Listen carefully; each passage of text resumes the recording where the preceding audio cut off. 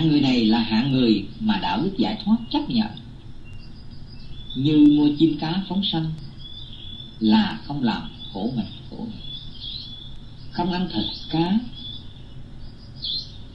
không ăn thịt chúng sanh là không làm khổ mình, khổ người. Không tham lam trộm cướp là không làm khổ mình, khổ người. Không tà dâm là không làm khổ mình, khổ người không nói vọng ngữ, nói hai chiều, nói lời nói thiêu dệt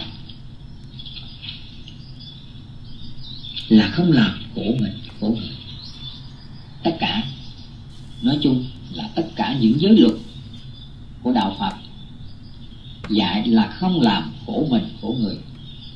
Bố thí giúp người là không làm khổ mình, khổ người. Nói tóm lại, chúng ta không còn tham sân si, mạng nghi là không làm khổ mình, khổ người nữa.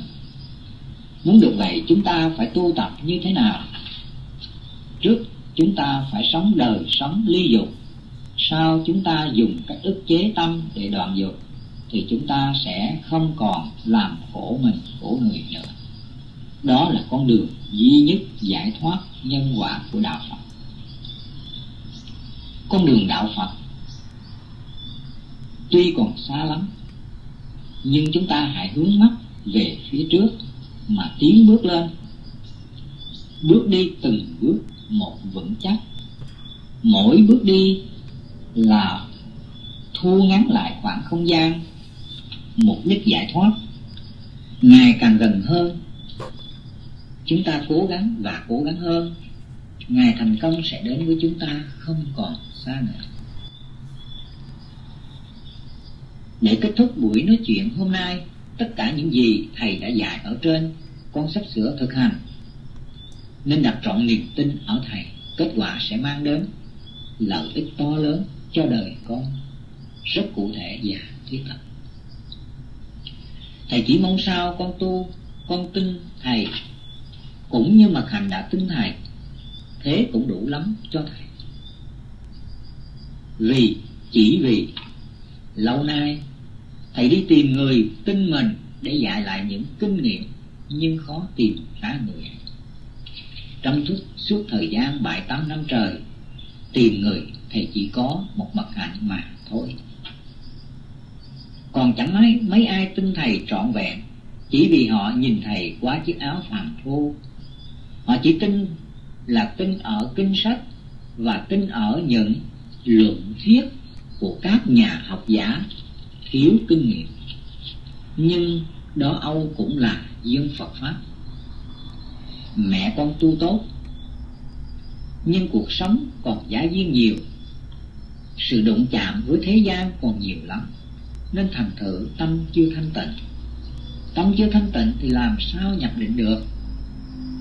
Nếu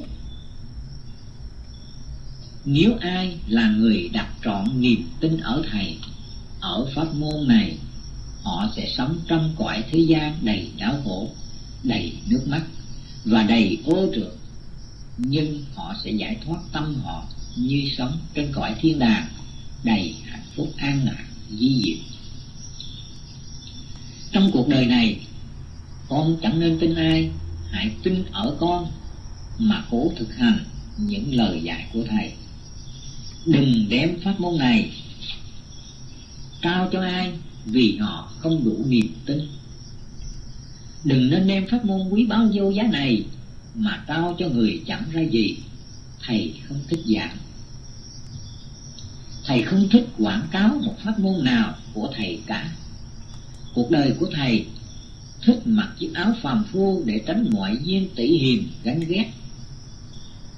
Trước khi chấm dứt buổi nói chuyện hôm nay, một lần nữa thầy xin nhắc lại con không nên trao pháp này cho ai, vì ai hiểu được sự lợi ích của nó. Thầy chúc con thành công trong việc học và thành tựu đạo đức giải thoát trong pháp môn này. Thầy của con.